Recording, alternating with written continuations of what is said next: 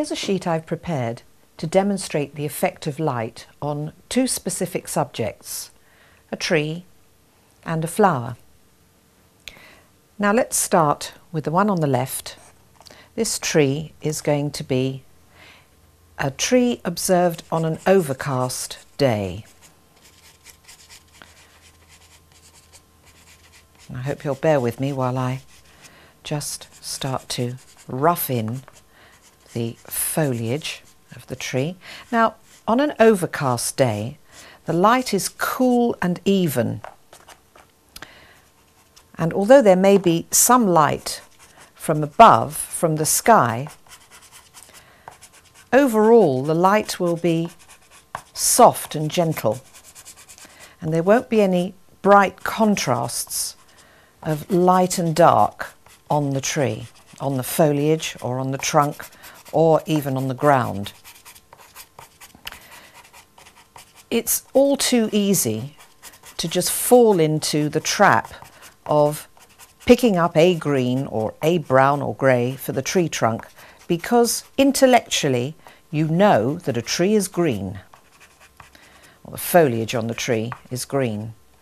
But I want you to try now with your newfound knowledge and wisdom to really observe carefully to see what the light is doing to the colours in front of you.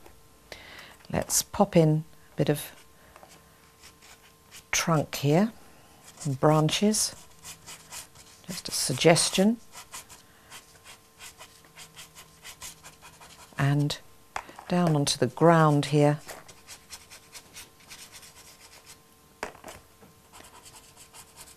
greenery under the tree.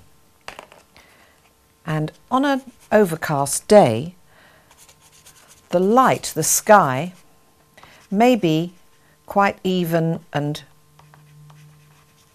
greyed, a sort of greyish blue.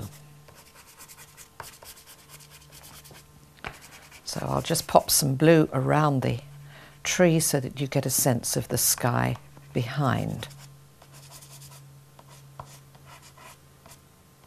Very quickly there. Now, this same tree will positively come to life and glow on a sun filled day. So let's move across to the second tree here. Let's pull it a little bit closer to me. This time the contrasts will be much stronger. The shadowy areas will be quite dark and rich there may still be areas of local colour where the light is a little bit more even.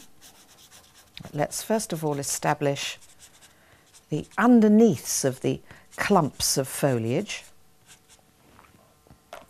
and then the middle tone here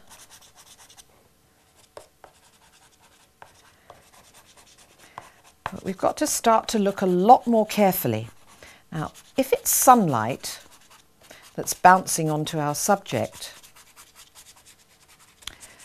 the lightest areas will obviously be warmer. Sunlight, sunlight itself is warm. It's a logical thing, isn't it? And greens, warm greens, if you think back to the lesson we looked at a few minutes ago, warm greens are yellower move towards yellow. So to get the impression of warm light on the tree, I'm now going to start to build in some touches of much more yellow green. Perhaps there wouldn't be quite so much on this clump here, which is, there may be a shadow cast onto this area of foliage from the pieces above, the branches and the foliage above.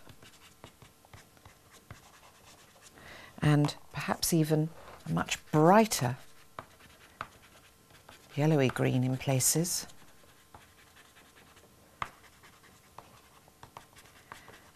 And let's let think about the tree trunks too. We use our brown. This is a little bit simplistic, but it's just to try to make the point for you.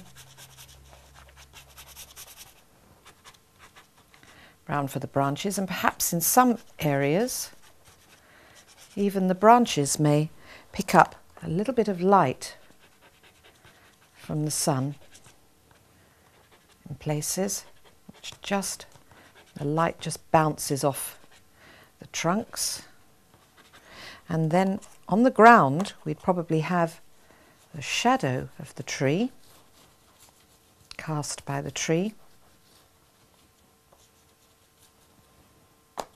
Fact, it would probably be a slightly cooler green.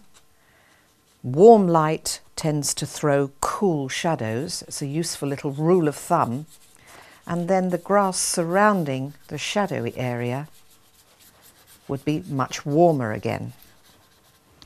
And this time, perhaps the sky will be brighter. Let's start with the same sort of blue that I used before, but I'll build in some much brighter blue. Oh, no, that's too grey. Let's find something brighter in my box.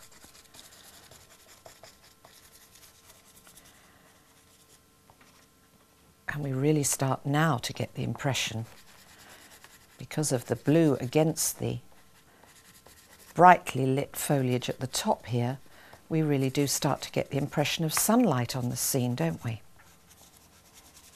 I hope you'll agree. Now, using your observation is very difficult indeed to try to pick up the colours to create the impression that you want. But I can promise you it really will pay off if you do. You'll be delighted to find your pictures coming together with lots of brilliance and life. We'll just compare these two trees now. Can you see how beautifully light and sunny this one looks by comparison with this one? Particularly if I make the sky a little greyer in places, with a suggestion of cloud as you would get with an overcast sky. It's much less contrast of the sky and the tree.